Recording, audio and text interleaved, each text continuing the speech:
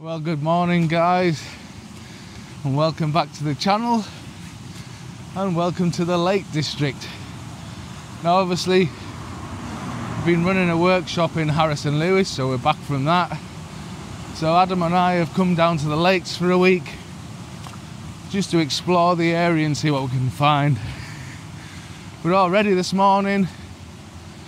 Um, I've missed the best of the light with wrestling with bloody car parks in the Lake District. So we've come down towards the River Brathay and there's a car park called Silverthwaite Car Park.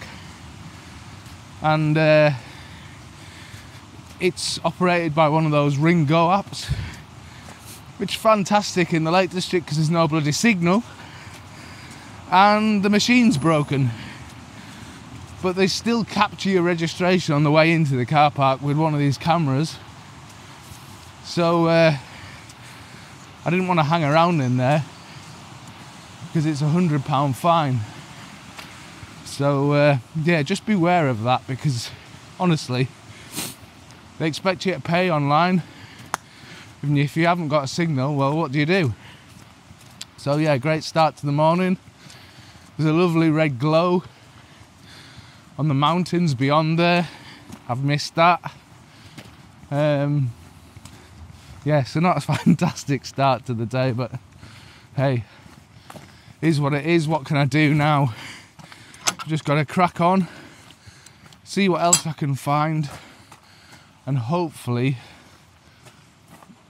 redeem myself somehow.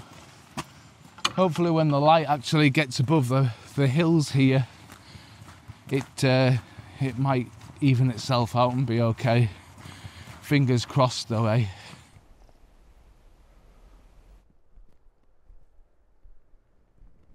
So, guys, it all seems to be happening this morning. You know, one of those days where you do wonder whether you should get should have gotten up or not. So I've gotten all the way down to the riverside here. Not only did I kind of miss the light this morning, I've also left the uh, the clip for my other tripod back in the van, so I can't mount cameras to uh, walk you guys through anything. So I'm gonna have to use the Osmo just to, to guide you through here. But you can see this scene in the background here, which I really quite like. Would have been a lot better with the uh, the first light that we got before because it was really beautiful. It was really warm tones on the hills. The moon was rising just looks stunning. So it's going to be a location that I think we're going to have to return to in the morning. I don't really want to miss out on it because the conditions are obviously frosty and I think it's going to be similar tomorrow, although there may not be the cloud um, in the morning, but it just is what it is. It's just one of those things. But yeah, I've found this scene and I want to, I'm going to use a strip panel for it because I think it works really, really well. I really like the look of these grasses down here um, just below the camera there. And then off in the distance, obviously, I think you've got the Langdales in the background there. Beautiful um, trees and everything on the right hand side and the left hand side of the frame, which are now being illuminated by the sun. Kind of the first first part of the sun as it's just cre- crept over the hills behind there. Um, but I'm going to get you to the back of the camera. I'm going to have to kind of do this on the fly and walk you through it as we go and I'll just get set up and I'll show you my scene. Right, so hopefully you'll be able to see this. Um, hopefully well, you'll see I've got this um, lovely crop pano here. Like I was telling you before there, we've got the reeds in the lower section of the frame. I've got my focus point kind of in the uh, off the lower third of the frame in the center there. And the mountains off in the distance, kind of central, centered in the middle of the frame, with these trees off to the right, and the other trees off to the left there to kind of try and balance things out a little. A lovely sky, although not as good as it was first thing this morning. And then the uh, the Langdales off in the distance there.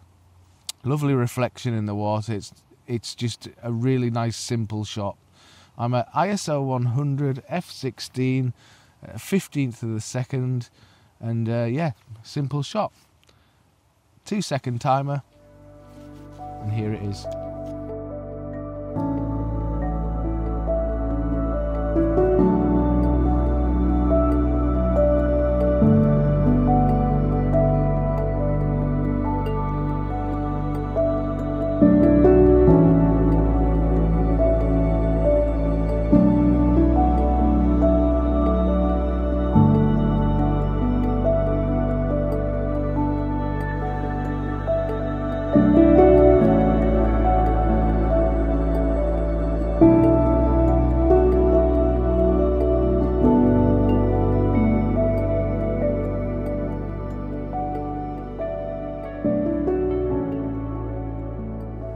So it just goes to show that you don't give up when you think you've uh, you've missed the best light. Because look at what's happening behind me here. You can probably just see, just behind the camera here, all that mist.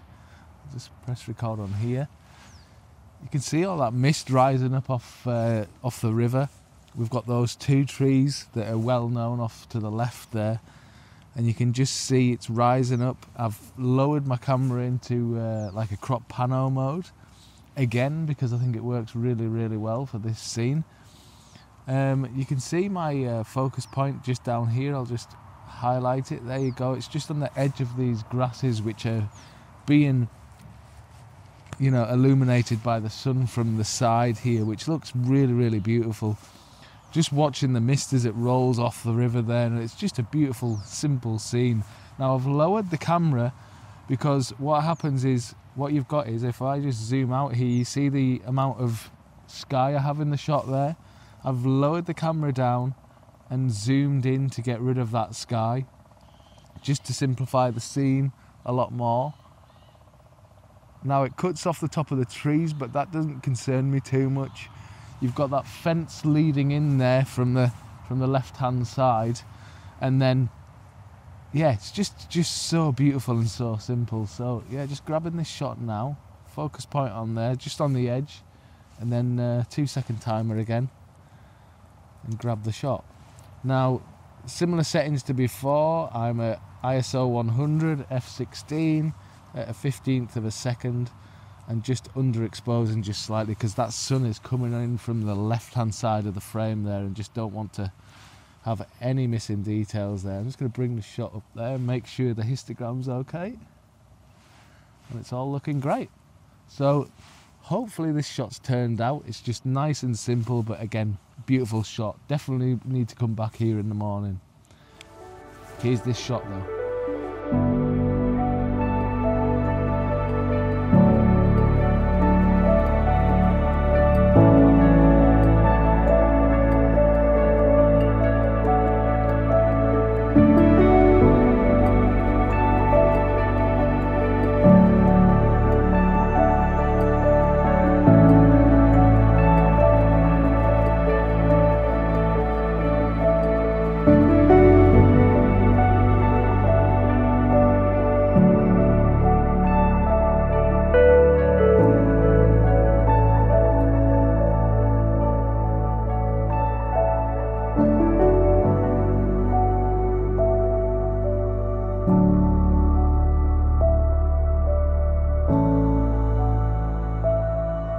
So again, what I've done, it's the same shot as I've just been taking. Now, obviously, the mist and everything has gone off the top of the water now down there.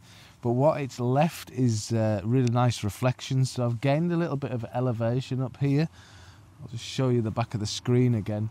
Now, what I'm trying to do here, hopefully you'll be able to see in the, in the screen now, is that I've got a 16 by 9 and the reason for that is, is because I want to get rid of all that sky above this section here. So if I zoom out where you can't really see too well actually if I do that. Um, no, you can't. You can't really tell too much. But the reason for it is, is just in that top corner. There's a little bit of sky creeping into the frame, and I, I, it's too much of a distraction. It's really bright white on that left. However, though, because of the sun being over in that top corner, what it's actually doing is if I select that, you should be able to see from this top corner of the frame up here, is it's it's given like a nice glow. The sun's kind of glowing down into the into that top corner of the frame, into those that group of trees, that little hump of trees there on the left, and it's also adding light to those other trees which are kind of in central of the frame there. If I just sort of spin you around a little bit more there, just in the centre of the frame there, there's another two trees and then that group on the left there it's actually pushing light into that section. And it's really quite nice with that glow across there especially when the sun's not hidden behind these clouds which it is at the minute. When that light comes through it's really quite nice and it just kind of gives a really nice atmosphere about it even though that fog isn't there anymore. So again ISO 100 I'm at a fourth of a second. I've got the uh, the 100 to 200 on the uh, on the camera at the minute to get a little bit tighter in. F16, fourth of a second, two second timer. And here's the shot.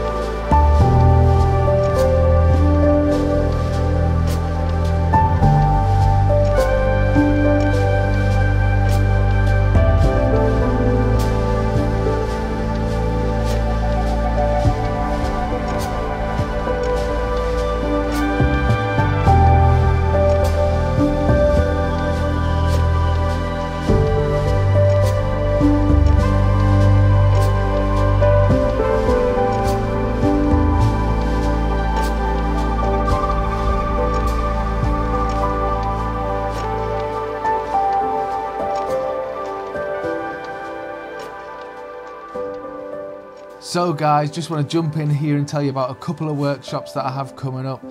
I have one with Matt Bishop in uh, Italy, and that's running from the end of January to February, and that's actually in Tuscany. It's the first year we're actually running this one, so can't wait to show you guys some of the fantastic areas that we have to visit there. Um, the second one is in um, the Uist Islands, and that's with my good friend Dean Allen. We ran the same workshops this year fantastic locations, beautiful islands out on the Outer Hebrides in Scotland. Definitely worth checking out. And we have a few spaces left for March next year as well.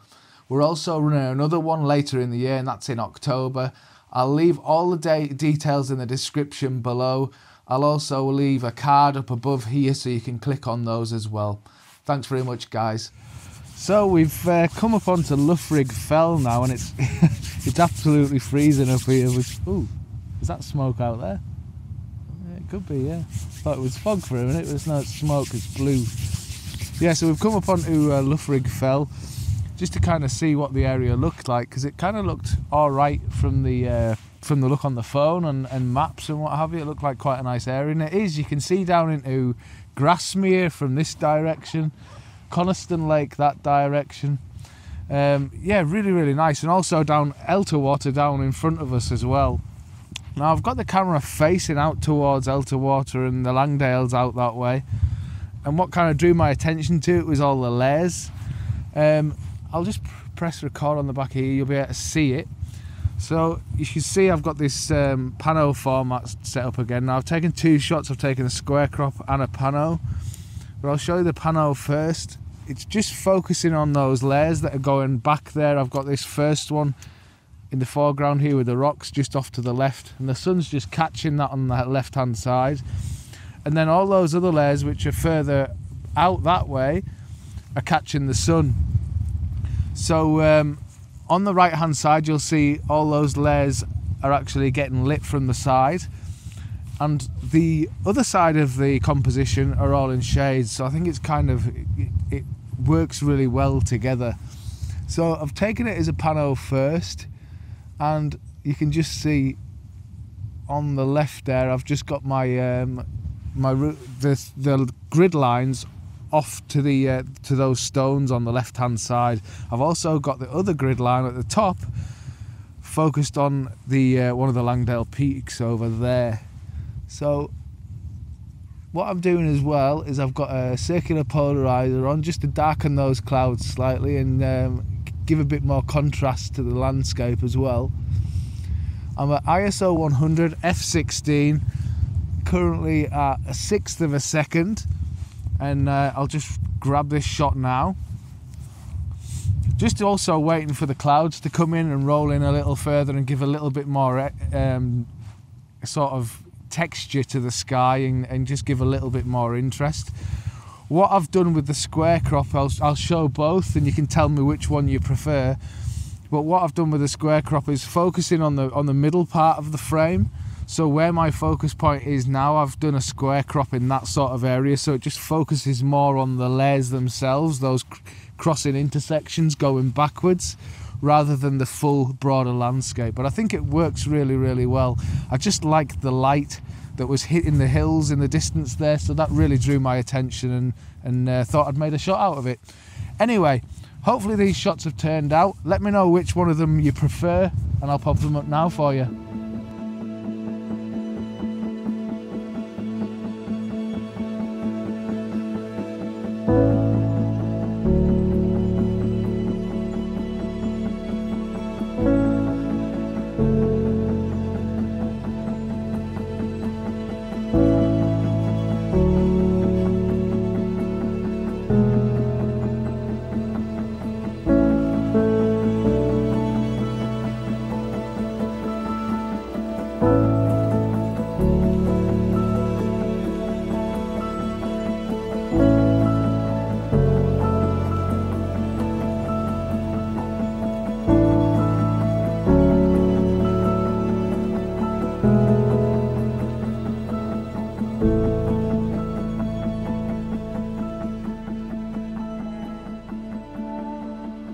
As you can kind of see by my face, the light is starting to uh, drop in the sky now. The sun's starting to fade behind the mountains there, and it's really, really nice, beautiful, warm light up here. So it's a case of rushing around, really trying to find a composition because the light's ever changing in these valleys. It really does change. If I just kind of spin you around here, that's kind of where I'm focusing on at the minute, down this valley because as that sun drops behind the hill over there, it's sending shafts of light through the valley there. So I've been using the 100 to 200 to kind of get in close there and uh, use the Langdales off there because we're getting some of these nice textures in the clouds even though there's quite a bit of blue sky which I'm not a huge fan of but the sky's pretty interesting looking as well so using those rays of light coming through there and using the light that's hitting the Langdales I think there's quite a nice composition there. I haven't walked you through this one because it's very much a, a kind of rush shot to kind of grab it before this light fades because I don't think I've got too long before the sun dips below the hills back there. And once that happens we're going to pretty much lose all the light. So I'm going to focus on this area get really tight in probably um, nothing too complicated it's going to be a simple shot probably ISO 100 f16 um, a fastest shutter speed because there's nothing that I really need to slow down in this frame. In fact, if anything, I want to kind of freeze the action, so it's going to be a pretty fast shutter speed, I would imagine. Grab this shot, and hopefully, if it turns out, I'll pop it up now for you.